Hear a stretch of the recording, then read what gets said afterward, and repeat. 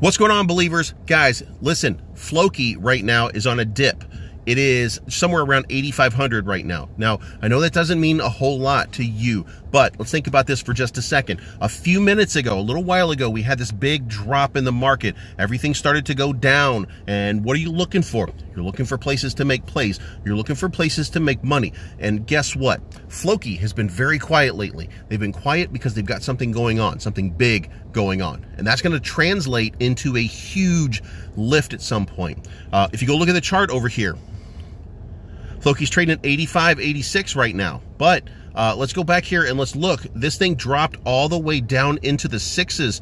Uh, you can see it right down here for just a little while before it got bought almost all the way back up. Look at how much got bought up in that short period of time. Now, guys, you don't get opportunities like this very often. Look at where it normally trades. It normally trades, and this is in the worst of times over the last few days with a dead market. Normally we're trading around 1100, I'm sorry, 11,000 to 12,000.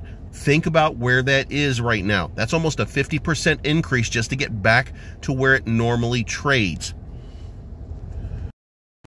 So guys, this is your opportunity to get back into Floki and make yourself a nice big profit and get yourself a great position that you may not get an opportunity to get ever again. This was not financial advice, but you know it and I know it. I'm always right.